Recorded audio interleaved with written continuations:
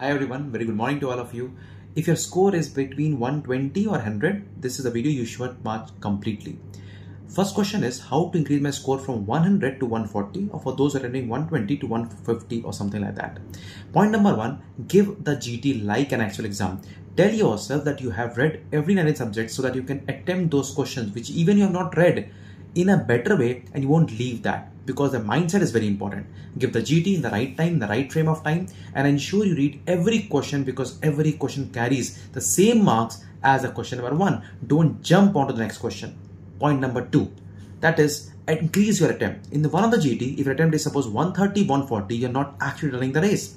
Remember one thing, the race of the questions is not between 200 questions, always between 180 questions. That means you can always leave 20 questions, but not more than that. In the actual in the actual exam, your actual attempt should be more than 190. Yes, that's true. So when you try to attempt that right now, it gives you a practice. Try to increase your attempts just by 20 questions at a time and see how much that actually affected your marks what the mathematics says that you need PG if you're actually attempting 20 questions or more plus 20 by 4 and if you make 16 wrong just 4 correct you're still not in a negative zone. So I think you must increase your marks and for that you must increase attempt. Point number 3 review the GT and in a way start from those questions you marked it wrong. Second go to those questions which you have marked for review.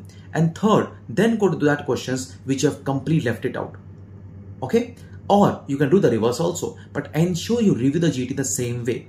Do write those number of questions while attending the GT which you want to re actually review at the last because that will really really help you. Nowadays in a GT there's a specific mark there guesses and ensure that you also look at those guesses in your actual exam.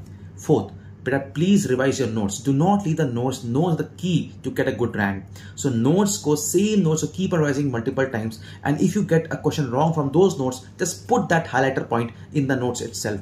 Ensure you have your notes while doing the GT because those are the things you want to review it again and again, not the big, big explanations of the regular GT that you're actually attempting for. And the last one, previous year question and the topics. Do not miss that. Why are you missing the pyq topics also? Read those topics from the notes or if you're not made the notes from the small videos the revision video series that you actually have watching right now. But do ensure you do it well. Just to end this video i'll tell you but please give your that thought process should go to mind that you have read every every question well. And to do that think this GT is your main NEET exam. In the main NEET exam, will you ever think of leaving a question without reading that? Never. Please put the same thought in this me this exam also. I'm very sure you'll do the best. Please put let me know what and how I can help you more. Take care. Goodbye. God bless you all.